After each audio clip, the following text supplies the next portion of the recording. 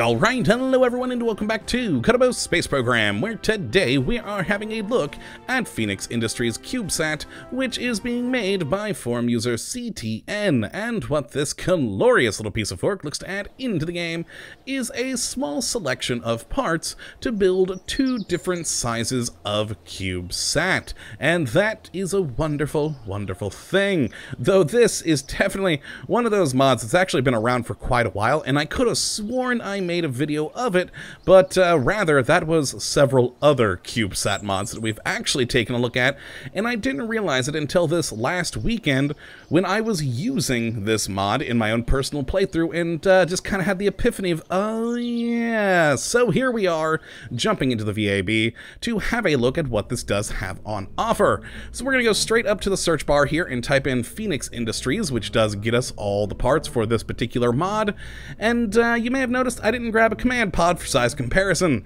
That's because, well, size comparison's a bit tricky with this one, so we'll talk about that after we've looked at all the parts themselves. Now let's start off by having a gander at the PISC-1 CubeSat tiny chassis, which is meant to be in the .625 size variety, and is a beautiful, in just CubeSat system with everything you need really built in.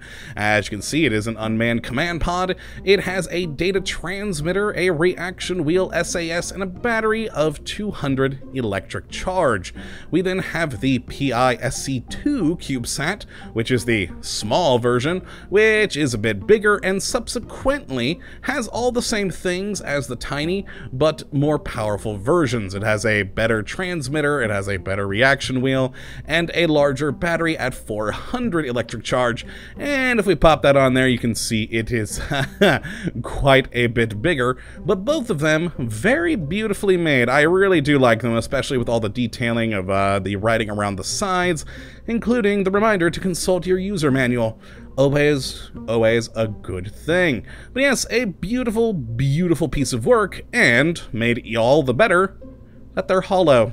I love it, because you can fit basically all you need for your different CubeSat missions into the interior of these things, and you can either attach them into the interior walls, or of course there is also, as you can see, a connection point right up at the top for anything, as well as of course a bottom connection point for adding this to your ships, and it's a pretty, pretty cool little thing. Now next up, we have the two different science modules, which are the PI CubeSat SM, and, well, the exact same name, just for the small variety. We have them in tiny and small size. Let's just pop those on here. There we go, and again, well, not exactly the most complicated models, but very good on the texturing, and what these are are basically all of those small scientific experiments wrapped into one package. So each of these has the log temperature experiment, the atmospheric analysis experiment, the pressure data experiment, seismic data experiment, and finally, gravity data experiment. So all those little bits and bobs of science all rolled into one thing, which you could either attach onto the outside of the CubeSat, as we have here, if you so desired. But remember, we have the interior, so we can pop this thing just right on in there, and it's a perfect fit. Very, very nice indeed. Now, if we zoom out here, the next part we're going to look at is the decoupler, which again is in a tiny and small variety, and just like with the uh, CubeSats themselves, the tiny one isn't quite as powerful of a decoupler as the small one, the small having ejection force of 30, the tiny of only 15. And if we pop this on here, that is for the tiny right there, lovely. And then, of course, the one for the small. There we go. We have our satellite payload adapters. Very good. And these will shoot your CubeSats out into whatever direction they're pointing. And it works quite nicely. And finally, the last thing we have is the PISP-1 and 2 CubeSat solar panels, again in the small and tiny sizes, with the, the tiny producing 0.2 electric charge per second, and the small doing 0.3. And if we just clap that right onto there. We have the solar panel, and this one, for some reason, is turned the wrong way around. But there we go.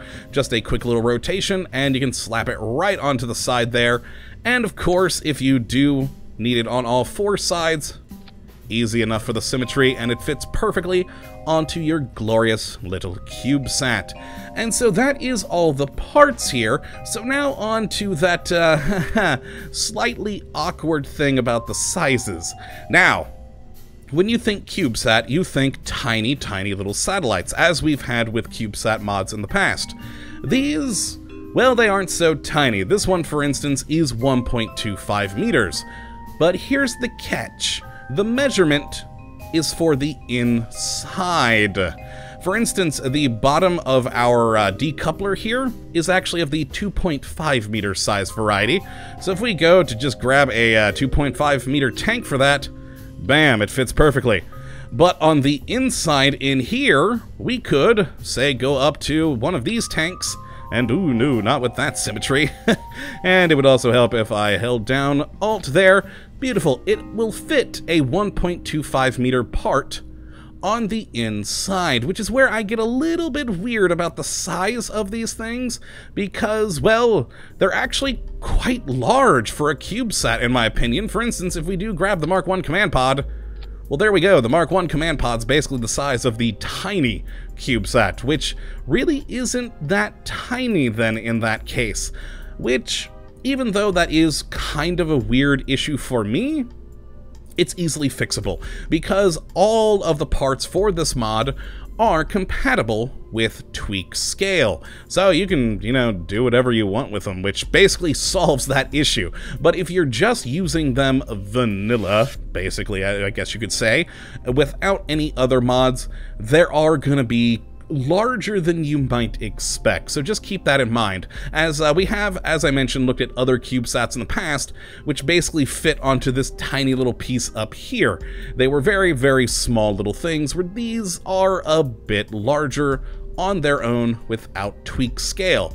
Now, another compatibility slash integration they do have, which is quite convenient, is MechJeb. So if you are a MechJeb user, you won't have to worry about slapping on one of those little MechJeb add-ons.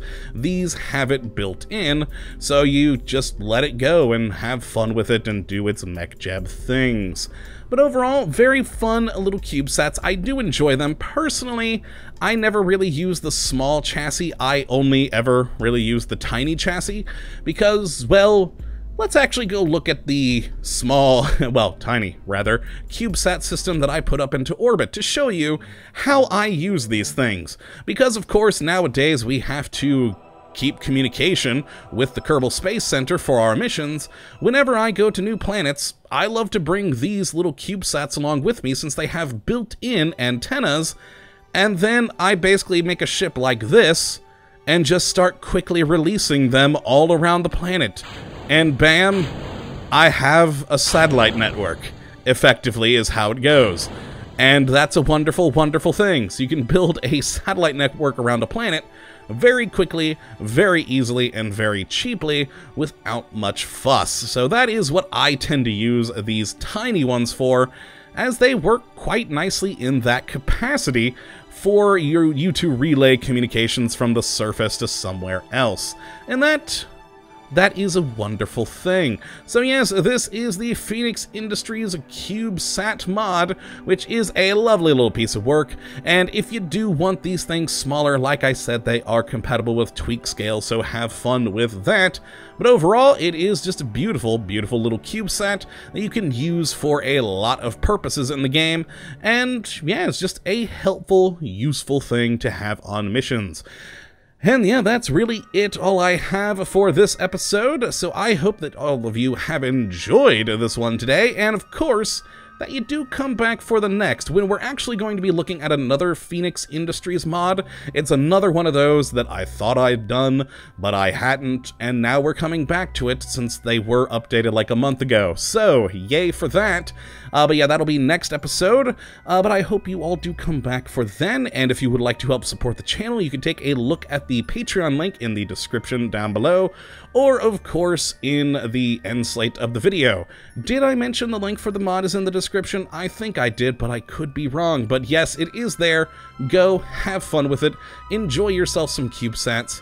But for now, goodbye my friends, and I hope you do have a good one.